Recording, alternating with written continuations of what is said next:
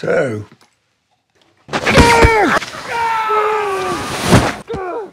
How do you suggest we fix this rather big mistake? The Ilkley Literature Festival, culminating this Sunday with the controversial secularist Professor Bill Huxley. We killed the wrong one.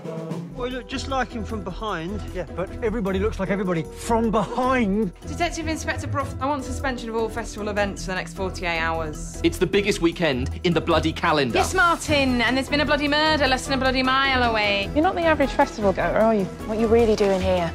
I don't want to go to prison. Loads of saints went to prison. Didn't do them any harm, did it? This time we must be certain, absolutely certain, there's no room for error. We shan't bite our tongues anymore. We shan't let them laugh at us, humiliate us. Jesus Christ. What did you just say? What did you just say?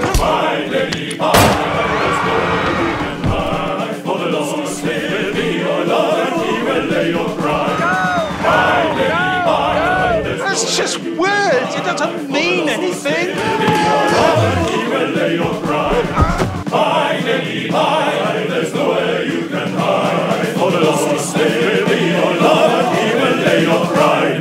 We'll make it up to you. I know you will, boys. I know you will.